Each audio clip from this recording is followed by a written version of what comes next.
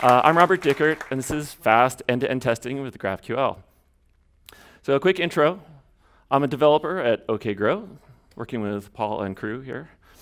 And we build web and mobile apps. We do GraphQL training like we did at this conference. And we also run Assert.js, which is the first all JavaScript testing conference. Testing is really important for us here at OKGrow. And we look at it as more than just quality control. We as programmers are translating the business domain to working code. If you haven't encountered the term business domain before, let's look at an example. If our domain is interpersonal banking, we can make some statements about our business regarding accounts, deposits, and withdrawals. And we can extract specific terminology that describes that domain. So let's say we have a business requirement which states that clients can view their updated balance when they transfer funds. Using that, we can formulate a testing scenario. So here we have it written in Gherkin. Uh, given that Tony is logged in and he has a balance of $150, when he transfers $100 to Rodrigo, then his balance is $50. Straightforward. So let's look at the breakdown between the client and the server in this. The client must call the mutation correctly and display its outcome. The server needs to perform the actual transfer. So here your app's domain is spread across both the client and the server with different functionality in each. So let's say we write client and server tests and get them to pass. So how confident are you? Are you happy with these tests? Like what happens if both the tests are okay, but there's a problem with how the client and the server hand off between each other? In this case, your individual tests are green, but the end-to-end scenario is broken. So what we want is a test that makes sure the process can traverse all the way across the client to the server and back. And this brings us to end-to-end tests. People here are usually talking about a simulation of the app or even a full environment of the app. Um, so with both the client and server environments. So we, we automate the input, we traverse the whole app, and then we run assertions against the results as displayed in the browser. And this feels fine conceptually. It also works. So why don't we do this all the time? Well, it's not a mystery to anyone that's done a lot of Selenium tests. These tests are just too slow for test-driven development. They're also pretty brittle and hard to set up.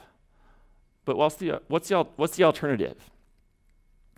What if I could tell you you could have end-to-end tests that were fast, easy to write, and can be run as independent client and server tests? Well, there is a way. After all, we're using GraphQL, and it's already improved our process by getting front and back end devs to agree on data requirements. If you think about it, every GraphQL operation can be specified by four things the operation, the arguments, the context, and the response. So these get used differently on the client and server, though. So on the server, uh, we can use these to directly drive an API test. We set our user's balance on a database. We use the operation variables and context to trigger our GraphQL resolver, and then we can assert against our expected result. On the client, it's a little bit different. Um, on the client, we have to set up arguments perhaps as field state on a form component. Uh, we trigger our mutation, maybe with a button click, uh, and then uh, we let the client execute the mutation, where we would expect that same result that we tested on the server to come back, and we check to make sure it's displayed properly. So how do we link these tests to be part of the same end-to-end -end process? Well, I would assert that the tests can be considered part of the same end-to-end -end process if all of the following are true. So if the client and server are using exactly the same operation and variables, um, if the client and server contexts match up, and if the expected result of the server test is returned as the mock value to the client. What I'm describing is a contract test. Contract tests are usually used to confirm that an outside API that you depend on hasn't changed, meaning we can count on the mock values in our tests. So here we're adapting that concept to assert that our client and server tests are in fact part of the same request. But how do we do this? The answer is to have two worlds in which the test runs. So you get this for free if you use Cucumber, but you can do this in any framework. Let's go line by line in our test. So first line, given Tony is logged in. So if the client's sending a token, you actually don't need to do anything at all. You just pretend like it works. The server needs to have the user in the user context. So you can see we're not perfectly simulating auth, so keep that in mind.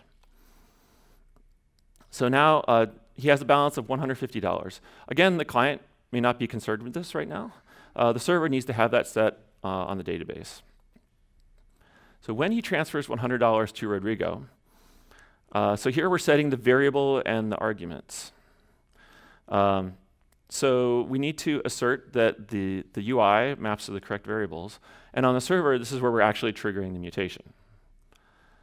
So finally, then his balance is, is $50. This is where we do the assertion on the server. And on the client, we use that mock value to return it and check to see if it was displayed correctly. And that ties our tests together. So we can run either a client or server independently and remain confident in the end-to-end -end response.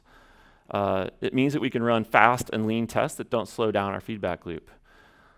So in this paradigm, tests can easily run in, in less than a second or even faster than that. But there are a few caveats, of course. You'll probably still want to use some end-to-end -end tests. You can just use a lot less of them. Um, there's also a risk of mistakes that will decrease your confidence. Uh, the context is one place where this could be an issue. And that's one reason why auth is still a great place for full end-to-end -end tests. Uh, finally, the setup of these tests is more complex than plain integration tests, although I would argue it's nicer than doing a ton of end-to-end -end tests. And your tests will be a whole lot faster. GraphQL makes this process really easy, um, so it's well specified, um, because it's well specified, uh, and it's easy to build into your infrastructure because it's the same, uh, the same parameters that you're using every time. Um, and it also provides a nice extension to the GraphQL first philosophy, uh, where you can not only agree to the schema, but to the tests. So once the front and back end have agreed to these things, uh, then you can run them independently and work toward your individual goals. So what do you think? If you're wondering where you can get this, uh, we've done a couple proof of concept at OKGrow, but we haven't published anything so far. Uh, we have tried it in some production code, and it does work. So uh, I'd be really interested in your reactions to this. So if you're interested, please come find me after this talk. Thank you.